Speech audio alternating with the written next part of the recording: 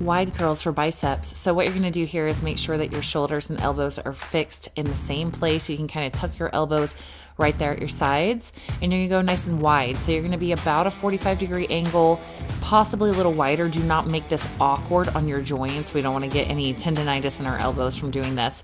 So go as wide as comfortable for you and then squeeze really tight at that peak contraction and lower all the way down, getting that full range of motion in the biceps.